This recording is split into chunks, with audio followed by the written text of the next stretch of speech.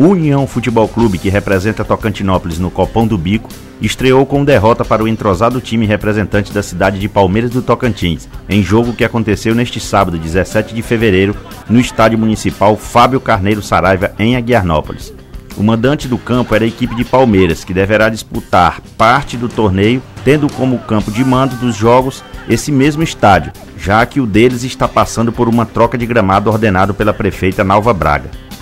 O União entrou em campo aparentemente com fome de gol, e logo aos 5 minutos, o meio atacante Ercílio, que é indígena da etnia Pinagé, recebeu bola desviada da barreira após uma cobrança de falta vinda da direita e escorou de cabeça abrindo o placar para o UFC. Parecia que seria fácil, mas não foi, porque três minutos depois, o zagueiro camisa 3 João cabeceou de peixinho uma bola levantada na pequena área, empatando a partida em 1 a 1.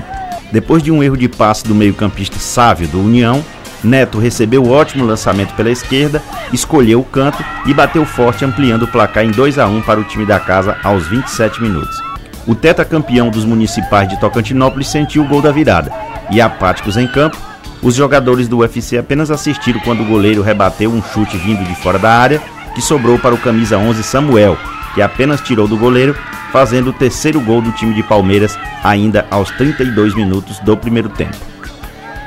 Para fechar a primeira etapa com chave de ouro, aos 45 minutos, o time de Palmeiras do Tocantins ainda marcou o quarto gol, novamente com o atacante camisa 9 Neto, que recebeu o lançamento, matou a bola no peito tirando do marcador e encobrindo o goleiro do União. Final do primeiro tempo, Palmeiras do Tocantins 4, União de Tocantinópolis apenas 1. Depois da bronca recebida pelo técnico e também vinda por parte da diretoria, os jogadores do UFC entraram em campo com mais garra e bem no início da etapa complementar, o atacante Dudu diminuiu a distância do marcador aos 4 minutos, numa cobrança de falta pela esquerda que foi cobrada bem fechada, surpreendendo o goleiro de Palmeiras, que não conseguiu evitar que a bola entrasse.